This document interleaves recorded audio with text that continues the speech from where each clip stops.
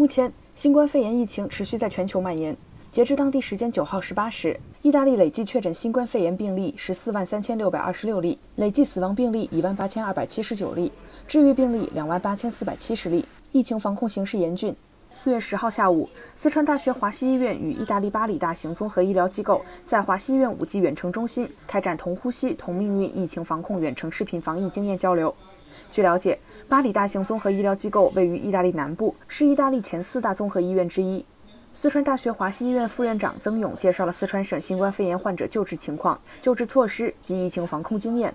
同时，曾援助武汉五十七天的四川大学华西医院呼吸与危重症医学科副主任罗凤鸣，重点介绍了在武汉的危重症患者救治经验。虽然我们四川省不是疫情的重灾区啊，但是我们应该说在这次救治新冠肺炎中已经有丰富的经验。主要的关键点，好，包括我们讲的啊，那么首先我们要对这个要呃早期的啊识别重症啊，早期的多学科的干预啊，资源的这个汇集，包括物质的还有人力的这些集中的救治，这方方面面。在交流环节，意大利专家围绕危重症患者救治提出多个问题，包括有创机械通气方法、ECMO 使用、康复者恢复气血浆治疗等。中方专家进行了详细解答。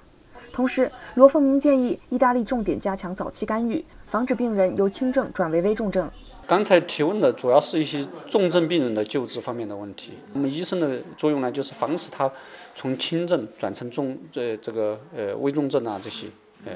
所以刚才也讨论了，我们也给他们建议，就是，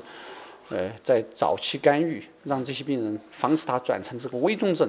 这个非常重要。曾勇表示，目前中国取得了抗击新冠肺炎的阶段性胜利，四川大学华西医院也在抗疫过程中取得了一些经验。他希望本次交流能对意大利的医疗专家有所帮助，同时他也希望能够与其他疫情严重的国家地区加强交流。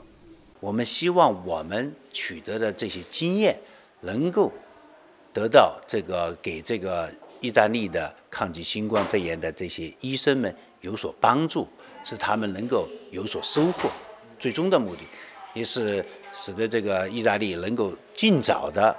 从这种疫情的这个泛滥中能够解脱出来。我们愿意把我们的经验向全世界其他疫情严重的地区啊进行交流啊进行介绍。